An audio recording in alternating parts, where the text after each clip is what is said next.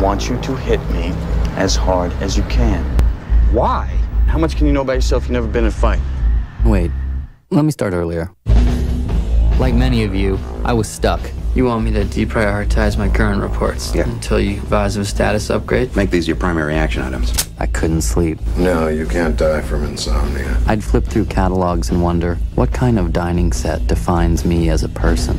This is your life, and it's ending one minute at a time. I prayed for a different life. Soap. I make and I sell soap. And this is how I met Tyler Durden. Come on, hit me before I lose my nerve.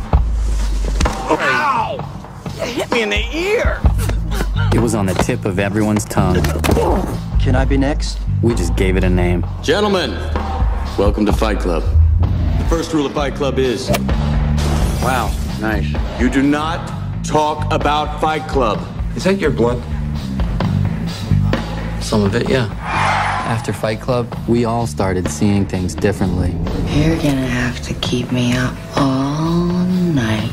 And she ruined everything. You're not into her, are you? No, God, not at all. We've all been raised on television to believe that one day we'd all be millionaires and movie gods and rock stars, but we won't. He had a plan. To what purpose? In Tyler, we trusted. I gotta take Fight Club up a notch. Each one of you has a homework assignment. You're gonna start a fight with a total stranger, That's not necessary. and you're gonna lose. That hurt. You were looking for a way to change your life. You got it.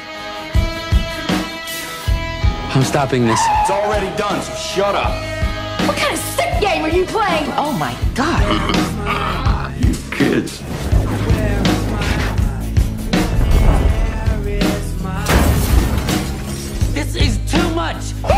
In the end, you will thank me. Whoa! Whoa! If you could fight anyone, who would you fight? Shatner.